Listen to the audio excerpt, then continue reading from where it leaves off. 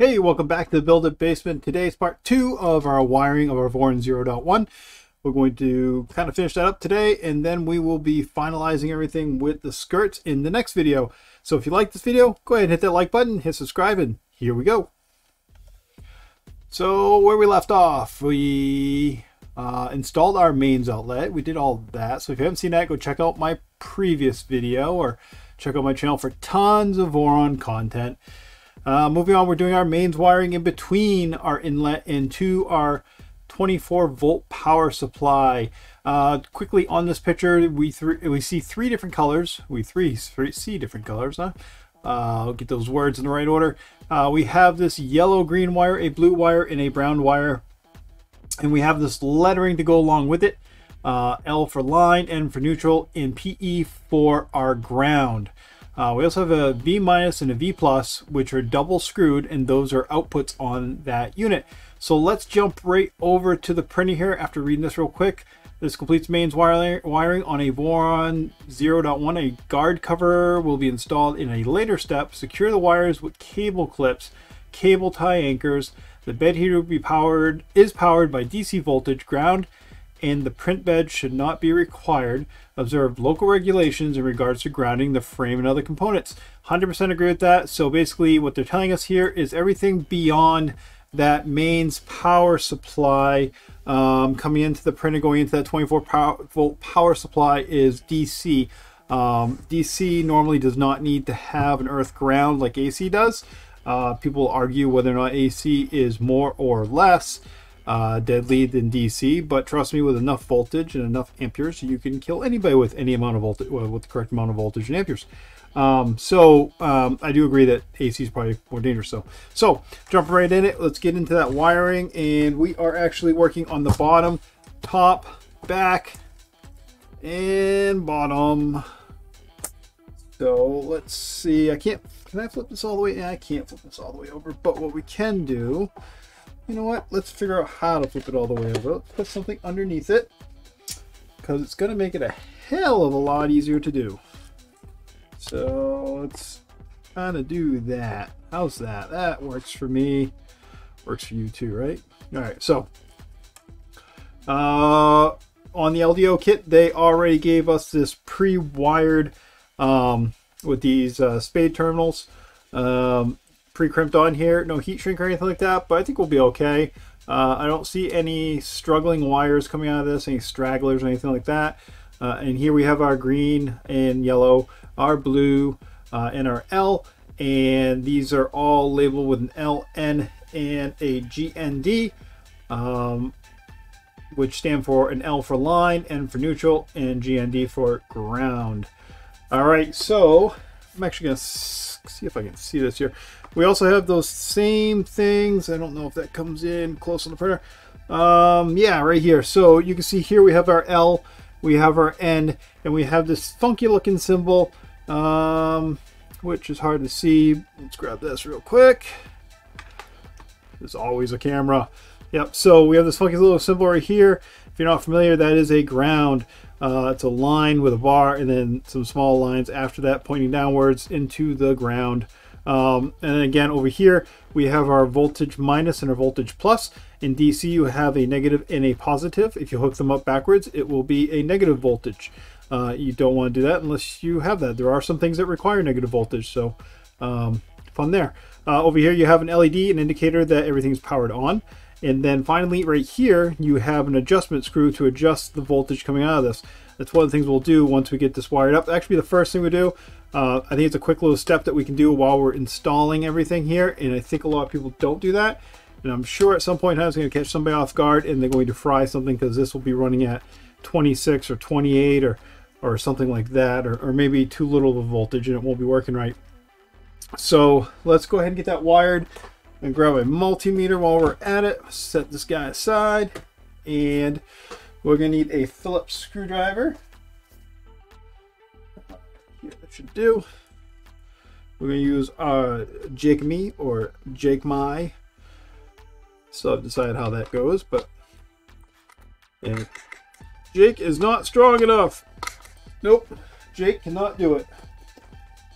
Those are pretty beefy, I guess, in terms of um, screws. So let me get the beefier screwdriver out, the a Dremel. Amazon link below. Uh, all right, so we can put that in reverse, and this thing's cool because when you push on it, it works. So we'll go ahead and hit that. And we're just gonna loosen up these three screws.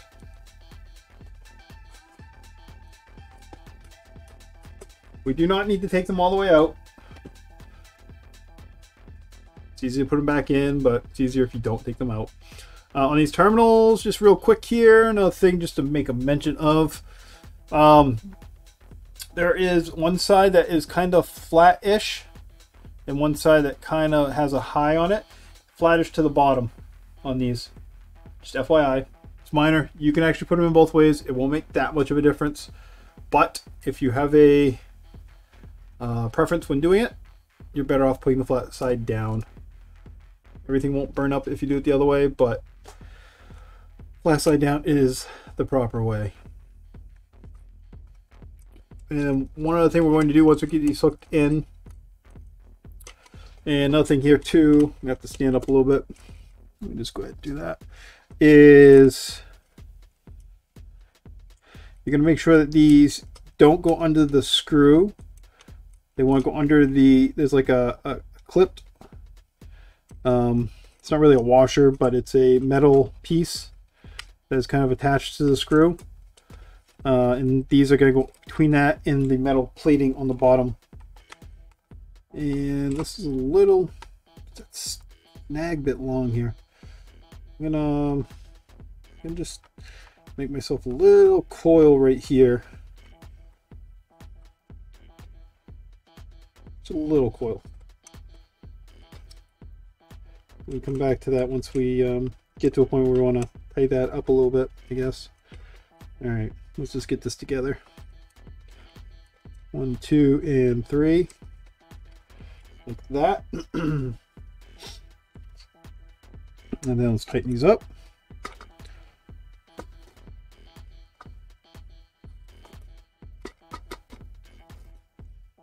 There we go.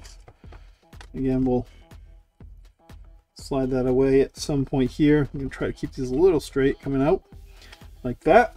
And now if we put power in here, we should have um, power going directly in here. Now at this point, all this is mains power, meaning that's full voltage out of the wall socket. So be very careful around this. Stand by.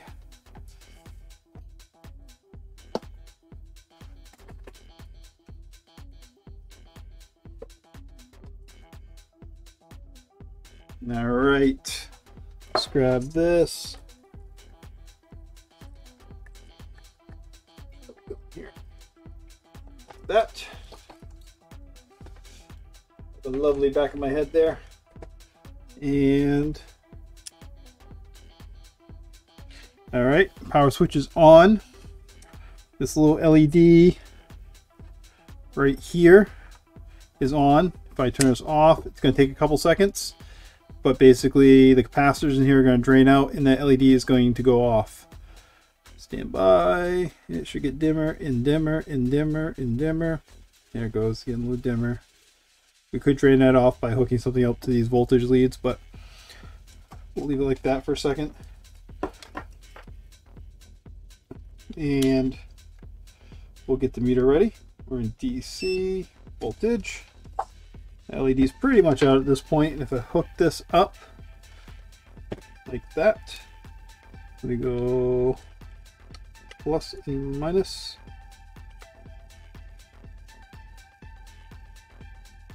Yep, right, zero volts. All right, so let's hook this back up again. And let's hook up our positive and our negative. Let's see where we're at. Oh, we're in AC. What are we in AC? DC. There we go. 24.21, which is probably fine, but just to show, go ahead and tweak that down just a little bit. In a uh, previous video. If you want to go check something out on my Voron 2.4 video, this is where I made lots of sparks fly because I was not careful enough. That's too big of a screwdriver. Here we go. I'm going to turn this down so I make sure you can see that. It's kind of a little bit of a so right there we're at 23.25. The screw is very sensitive. 22, 23.3, 23.5, 5.6, 23.7, 23.8, 24 on the money. Bada boom, bada bang. Oh, yeah, 24 on the money. There you go. Now, again, that's the stuff you probably don't need to take if you don't want to. Um, it is good to know. It's a good troubleshooting step if you think you might have a bad power supply. Um, so it's good to know what you're working with. Uh, 24 volt power supply. On your mains lead, you see 120 AC on this meter. I'm going to turn that off. I'm going to watch this current drain out. Or this see drain out 24. You're going to see that go down slowly actually can't see it because I'm in front of it. Put that right there. Yeah. What's up? 24. 23. That's draining out. You can see it slowly is going to go down to zero. Like I said, it's just basically capacitors draining out over time. If you did have um, something hooked up that was draining power out of this, it would happen a lot quicker. But this is basically just floating, so the meter doesn't really take much energy to pull off of it. I always did wonder though why they don't make multimeters that charge you test circuits with them. And plug it into an AC outlet with the leads just for like 30 seconds and charge up with like a supercapacitor. Come on. All right, good enough. so that is that. And go ahead and unplug this power plug. We do not need that right now, and we're safer without it. Especially me. All right, back up to the screen. So now we're going to do our 5 volts. So we're going, oh, our 5 volts, and we're also going to do our control board. But um, First things first, on our 5 volts, we're going to basically hook up our 24 to 5 volt um, converter. Call it a buck converter, you can call it a DC DC converter. You can call it a bunch of different things, but basically it's going to convert 24 volts down to 5 volts. Um, uh, also came the kit, does up to 10 amps on the one that came with this, and basically we're going to be taking one of the two screws and going to here, and then the other of the two screws are going to go to the control board. So let's do that.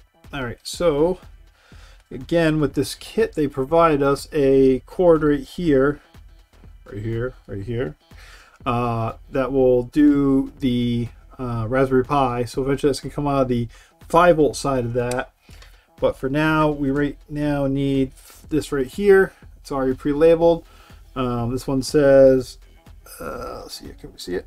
Yeah, two 5 volt power supply and 24 volt in. Make sure you don't get it backwards. You can put this whichever direction you like, but don't put it in backwards. All right, so 24 volt in. We gotta make sure we get the right side in. Okay. And you gotta make sure you use the right terminal screws too. Use the proper 24 volt terminal screws because you do have two sets. And hopefully you don't screw with you. All right, so we're going to loosen these guys up. Again, you don't need to take the screws out. You just need to make room. And we do need to make sure that red goes to positive and black goes to negative. Basic stuff there. So I'm going to start with uh, I'm going to start with my negative here and my positive over here. So I'm going to the first of each type.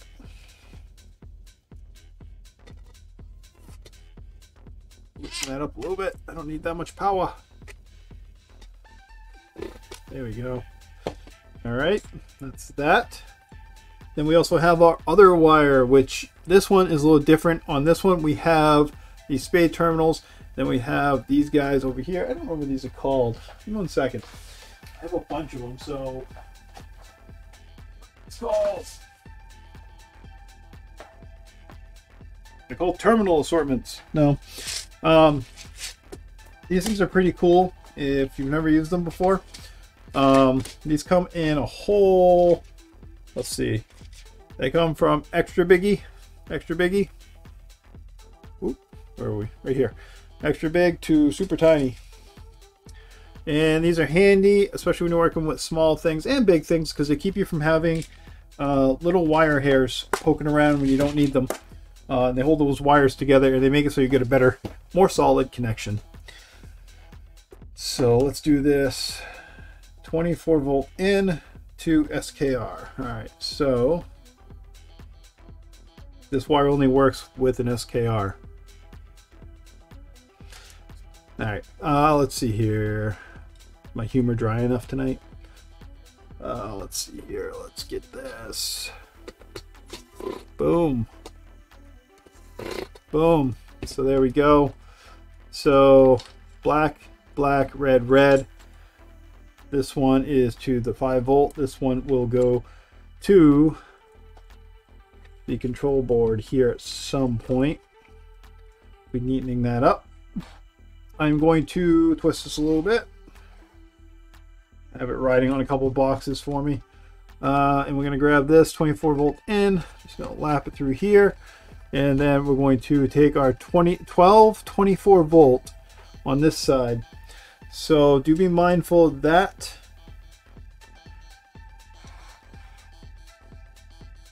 Okay, you gotta be over here. All right, so this unit does have an in and an out. You definitely want to hook up your 12 slash 24 volts on one side and do hook up your positive five and negative negative. And then this is kind of an odd thing on this unit.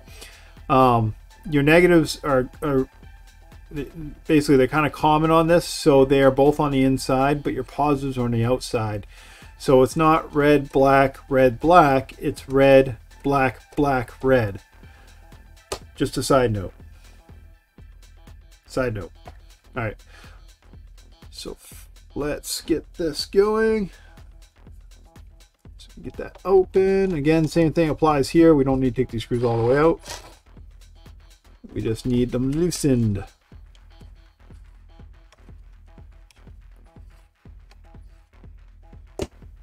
And let's see, positive to here. And negative to here. Tighten those down. Whoop, wrong way. Tighten down. And as I'm tightening these down, I'm just applying a little bit of pressure on the on pushing them in as I go. Just make sure they don't slide out. Go. And then uh, let's see here. What are they showing here on the screen? Yeah. Uh, cable cross section cables to the control board should be one millimeter, 18 American wire gauge AWG or larger AWG 18. I don't know why it's American wire gauge 18 instead of 18 American wire gauge, whatever. Uh, or larger. That's just me being stupid. Um, happens all the time. 0.5 millimeter American wire gauge 20 is sufficient for the connection to the Raspberry Pi. What are they doing here? See what they gave us. So it looks like they actually did that. Um, now, uh, something to be mindful of that is if you are self-sourcing and you're buying wire, um, you don't need to buy 15,000 different types of wire. You can always settle for the larger wire as long as it doesn't cause you any issues when you're doing wiring. You have plenty of room for them. Uh, never use a smaller wire, always use the next larger wire. So right here, if you need some 20 and some 18 and you didn't have any wire, you didn't have any hookup wire or anything like that that were in those gauges, uh, my suggestion is you go out and buy the 18 gauge wire um, and not buy the 20 gauge wire if you didn't have to. Uh, but do not buy the 20 gauge wire and use it for the 18 gauge hookups. You might get away with it, you might not. All right, so according to this, we are going to hook up our secondary part here. Let's see, they don't show us that, but um, this is where our lead right here is going to hook up to the Raspberry Pi. So I'm going to get that done too. So I don't really show it yet, but I'll assume they imply it by having the little red and black wire coming off of it. And you can note on theirs too, they have the red, black, black, red. So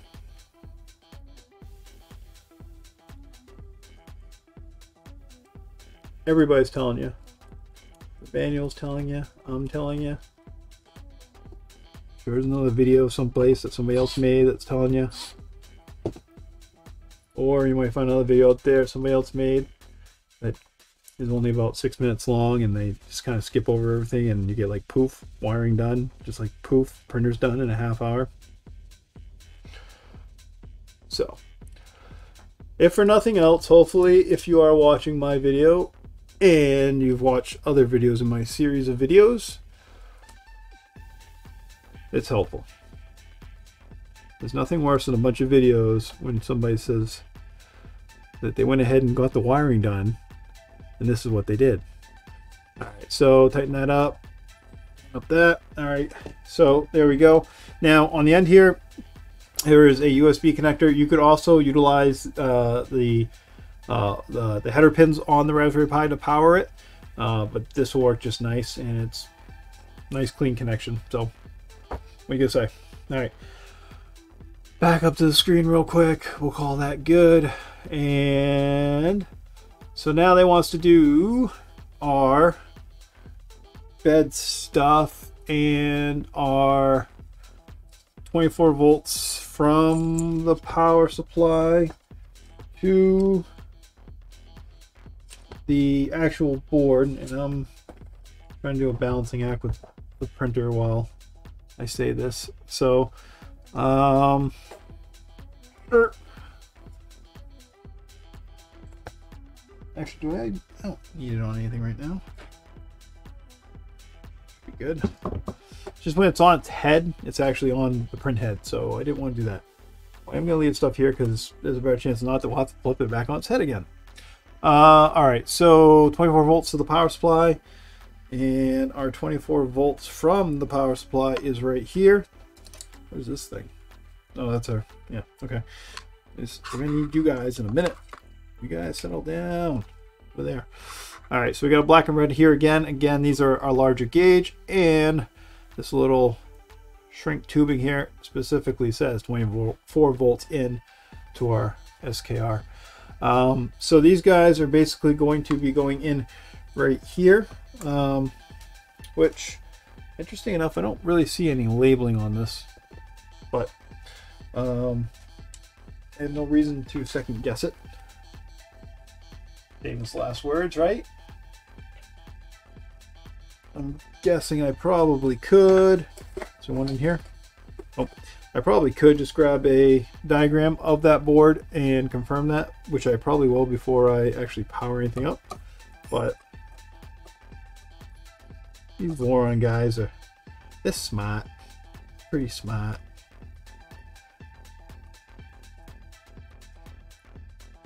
There we go. Got those in.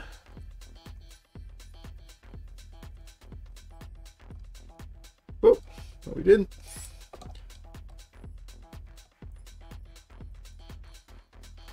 loosen those right up. All right. They weren't as loose as I thought they were. All right, that should work. Yep, there we go.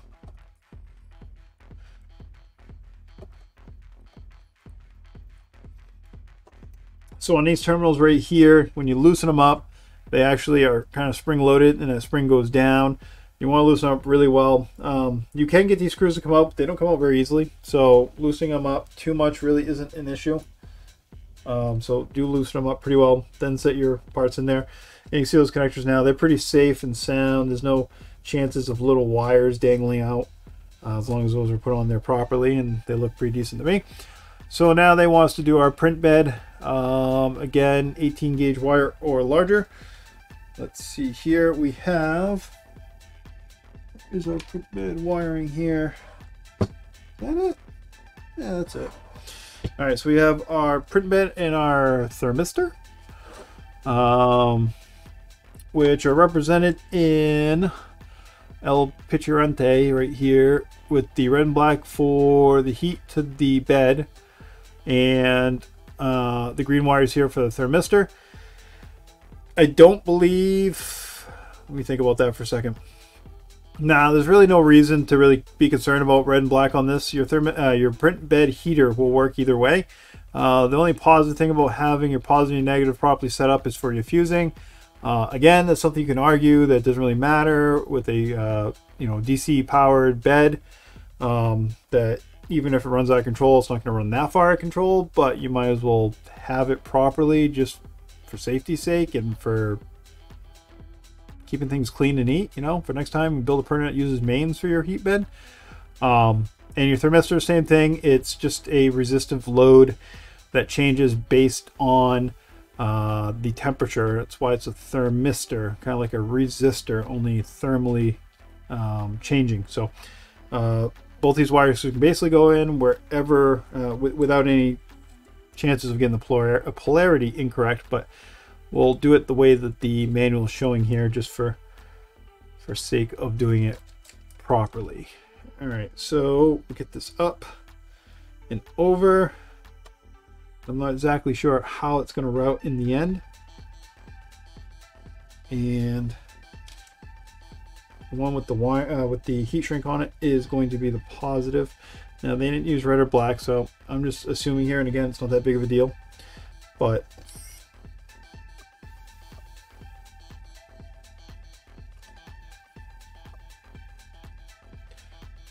put these in. When I insert these, I'm actually staying towards the top of the hole. Uh, one.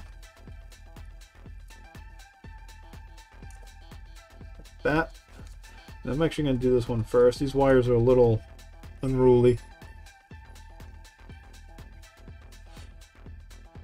These wires are actually, um, they kind of, they will, they have some fiberglass and some silicone in them. That's what makes them temperature resistant. Um, but they are thicker and they are a little bit less friendly to bend.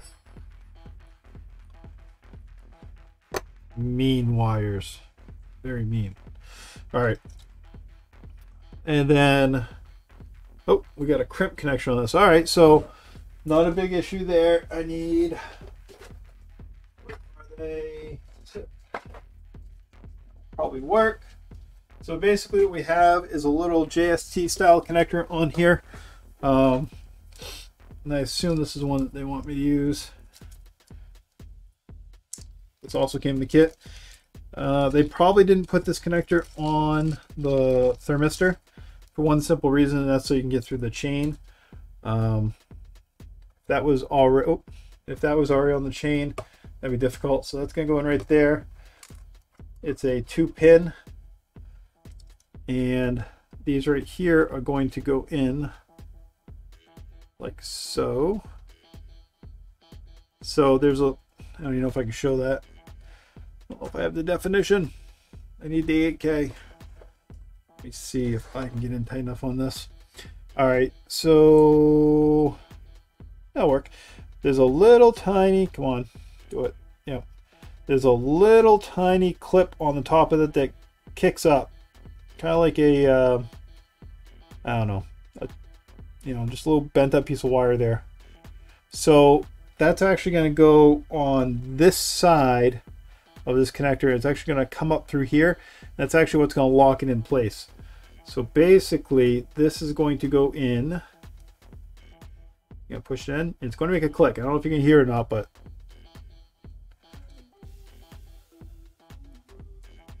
and there you go. So that's locked in place using that little thing. Now, if you had to release that, um, there are tools to do this, but use an X-Acto knife it'll work. You can just basically push down on that little pin and you watch. I'm not gonna be able to get it out because I'm saying this, but you should be able to pull that back out if you if you do this just right. Like I'm put too much in this. Everybody's gonna get bored and fast forward and tell me the video is terrible. Me they already knew everything. But anyways, you can push that down and pull that pin back out. That's why it has that little leg on it that clips up. Um, if you ever have to, if you have a broken wire or something, if you have some type of weird need to reuse one of these. So there you go. Those two are in there. Nice and tight. Give them a little tug. They work. All right. And this guy right here, uh, this connector has a little locking uh, and it faces towards the back. It's only really going to go in. You could probably force it in the other way, but it wouldn't be fun. So we got that like that for now. And then motors. All right, we got a bunch of motors to hook up and our end stops. Let's do the end stops first. So here they're calling out wire gauge on the end stop. Um, and this is very, very thin wire. The reason for that is these are really not carrying any type of voltage uh, or any type of current. Um, these are just switches. These are just telling the control board if something is on or off. These switches are normally um, closed, so that helps with failure. And if they see them open, then they're triggered. It's backwards, but trust me on this, it's the best way to do it. It's most of the ways that most 3D printers are made to help protect the printer uh, in the motors. So we need our Y and our Z end stop first. Um, so let's see where we are at. Let me grab that. And let's go, I'm gonna bring this back up here real quick. Going backwards, going backwards. I just want to review something real quick. Oh, I'm getting dizzy. Man, we've done a lot here. All right, here we go. All right. So these are end stops right here. This would be our Z end stop. This is the one that is the up down. Use it. Use for you folks that don't know. Up and down is your Z. And then um, right here we have our X end stop. So that's your side to side motion. And then you have your Y, which is your front to back motion. So I just want to go over that real quick because we're going to be grabbing those wires and it'll help alleviate some questions. Hopefully. All right. So first things first, we have our Y, which is coming off of here. That's our front to back again. Um, so our Y end stop is going to, let's see, these? Yep, these are labeled. So I'll double check this once we get them hooked up. But our Y end stop, there's a label here for a Y end stop. And a lot of times these boards are labeled, and for the most part, they tend to be correct for what we're doing. Um, see if I just change the angle just a little bit more.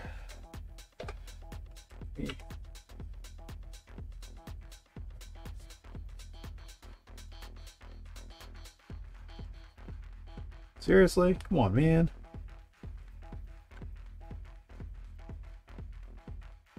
My hairy knuckles, that's about it. All right, you can kind of make that out.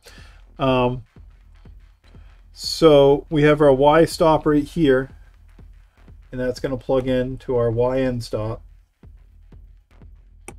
like that. And then, and these are labeled to end stop Y. And then we have our Z end stop, which does not have a connector on it yet. So we'll get one on that in a minute. Uh, but while we wait for that, we'll get our X end stop installed. Like that. And let me find another. Let's see what I did. Mouse put over here.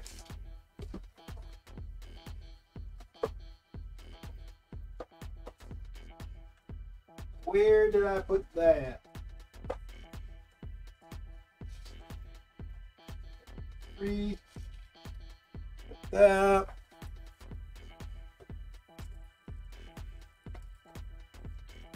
Well, I seem to have misplaced that two pin. So let me find another two pin real quick. Uh, let's see here. It's T. Three pin, two pin. So, spare parts, good to have. Buy them by the dozen. Amazon, AliExpress. If you don't, if you want to buy these and don't have my link, follow the link I have, then buy them.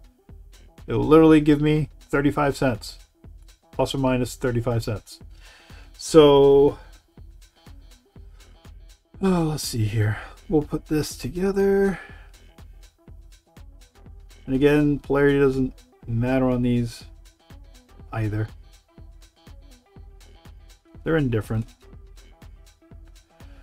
Uh, let's see here. That one. That one. All right. And then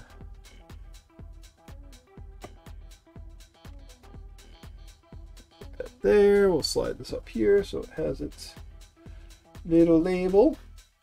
Nice and cute. Like that. And we'll move this guy out of the way. And we'll get back. Oh, back to there. Let's. Oh, where are we? Right here. Wow, that was pretty good. yeah, I couldn't do that again. All right, so A motor, B motor, Z motor. So A and B motors. And I gotta make sure I get the right ones for the right ones. That's gonna throw me off on the A and B. Uh, the Z is easy. We are winding up a little bit of mess here, and is probably some of this is gonna get disconnected and then reconnected once we figure out some wire management. Make sure it's coming up. Uh, let's see here. That. While I'm waiting to do that, I'm, I am going to hook this up real quick. There's no need not to. This is our Raspberry Pi power. USB. And this could probably get tucked right underneath. Like so. Ish. Yeah, that works. And let's see here. Our Z motor is getting hooked in on, let's see here, A, B, Z. So that is Z right here. Right there is our Z. And leave that like that. And then I always forget. I think this is A and this is B. Oh, there's a little diagram right there. All right, so right about here, they're giving you a back view showing you A and B. A is on the right hand side if the printer is facing towards you printing, and then if you're looking from the back side, A is on the left. So on my setup right now, as I'm looking at, this is A, this is B. So A motor is going to the top, underneath everything here.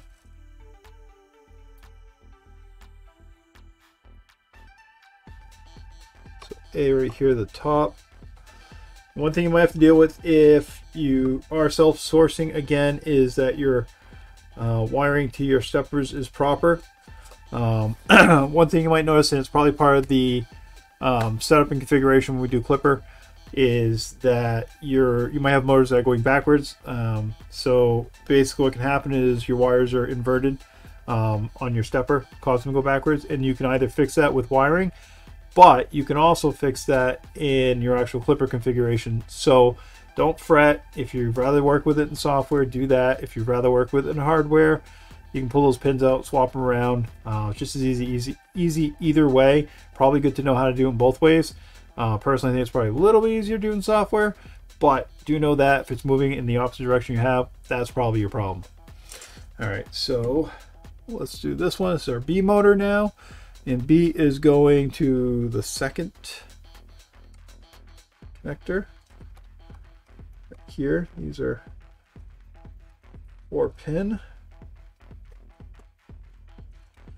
There we go. So A, B, Z, because who has time for the whole damn alphabet? All right. So Raspberry Pi, we got hooked up. We just did that right here. I tucked, um, I took the power wire out from that and kind of gave it a little tuck underneath. Pretty simple. Yeah. Yeah, I like this one. Oh, let's see here. Where does that leave us? Okay, hot end and cooling. All right, so hot end and cooling. So probably arguably some of the most important connections are your hot end and cooling fan uh, and your thermistor and your part cooler. So there's a lot going on in that uh, in that tool head of yours. Uh, there's almost as many connections coming out of that as there are in the whole rest of the printer. So that being said, let's jump into that real quick. All right, so our hot end stuff. Now, I know that this printer uses uh, what people call an umbilical cord. Um, so I'm not sure, and I'm probably gonna have to pull a lot of wiring out. That umbilical cord normally goes, I'm thinking it goes in between the belts in the frame, but I guess it could go on the other side, but I'm guessing it goes in between because there's room. At least it seems like there's room. All right, so we have our extruder motor right here, uh, which they're referring to as the E motor in the instructions. Look at it real quick, E motor. That's gonna go to the position that is lowest on the board. So if we flip this back over again, this is going to go on this EM. It looks up here. Yeah. So it's going to go on this EM connector or extruder motor. Uh, and at this point, I guess I'll note what this not use connection point is.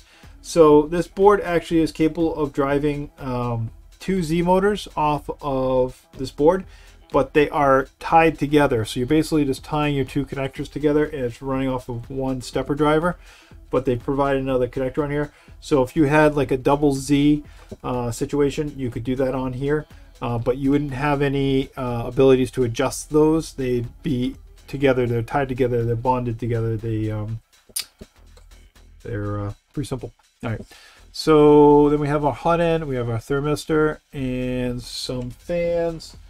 Uh, did they give us extensions? Give us extensions. I don't know what they gave us. What is this?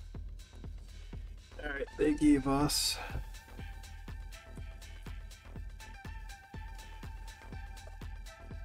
This is part fan, and this is hot end. What? Hot end fan. Why'd you do that?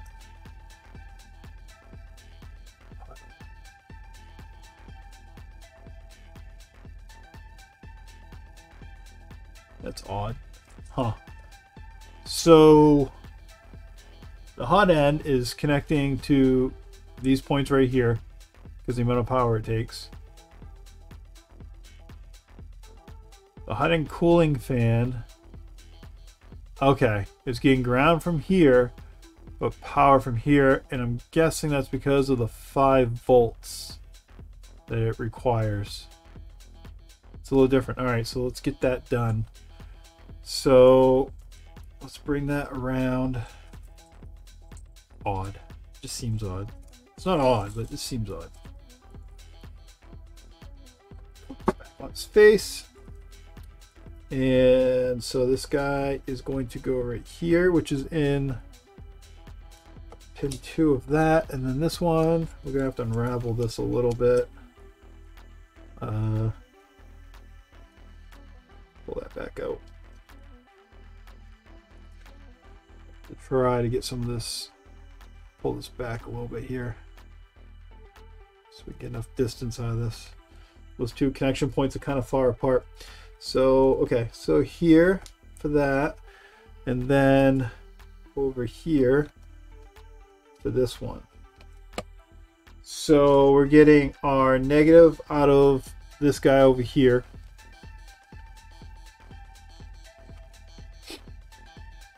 Right there. and our positive over here on that. That's for our hot end fan, as noted right here. All right, good enough. And let's see here now we have our part cooling fan. So part cooling fan is going to go up to here. So basically that is the connection point nearest to where the, um, actual hot ends plug into. Um, actually, these connectors real quick. So your steppers are all over here. These are your four point connectors. Uh, and then these are miscellaneous, your end stops, uh, thermistors, things like that. Uh, on these over here, uh, you have additional connectors over here for uh, probes, things like that. This is, this would be for a display if you had one or you wanted to add one.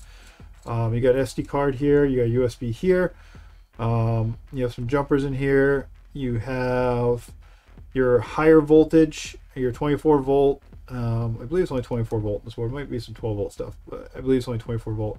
So you have your 24 volt in, your bed, and then your hot end. Uh, you have 20 amp fuse right here, and I'm not quite sure what that guy's for. Um, it could be used as an enclosure heater, possibly. I don't know. Uh, I'd have to pull the manual to take a look at that one, but it's kind of a quick rundown of what you have there. So now we need our, let's see, thermistor and our hot end. So we might be running into a little issue on that. Not a big one, but a little one. So I'm probably going to have to make my connections up on that. Reason being is I did not use the, um, actually, hold on. Hold the phone.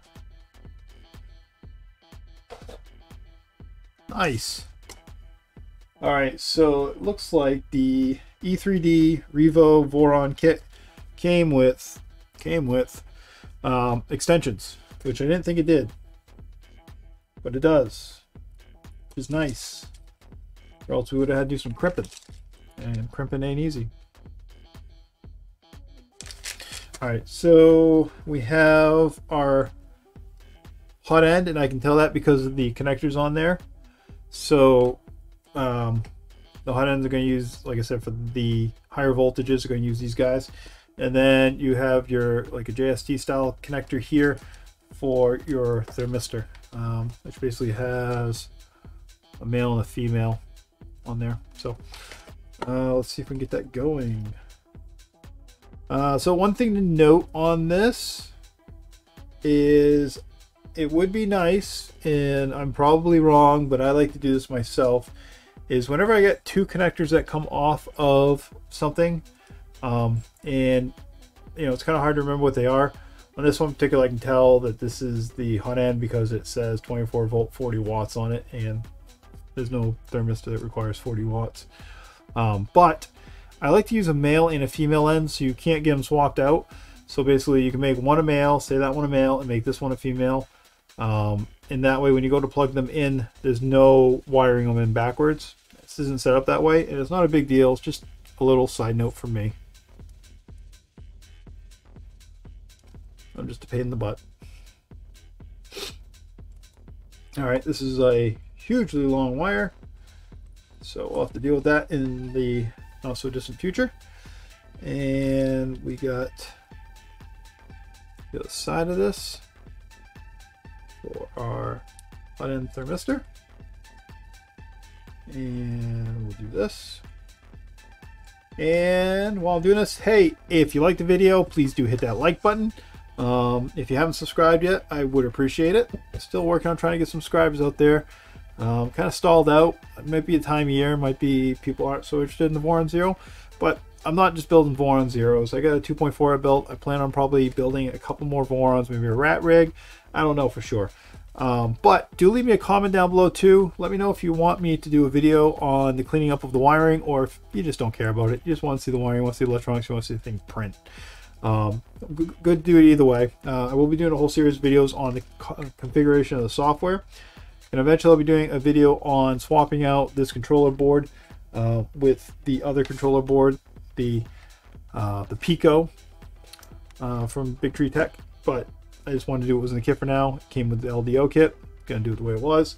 We'll swap that out. It's not gonna be that big of a difference. Plus, you get to watch me set Klipper twice.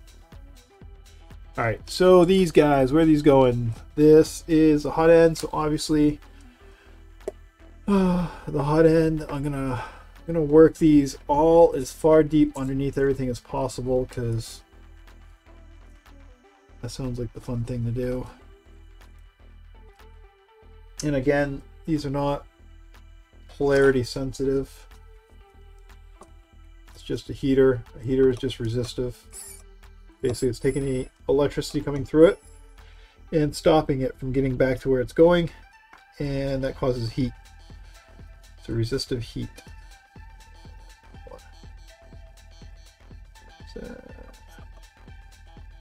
Come on.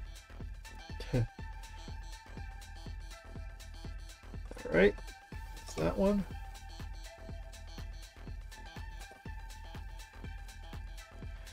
It's a little wonky. Hold on here. There we go. All right. And then let's get the second one in.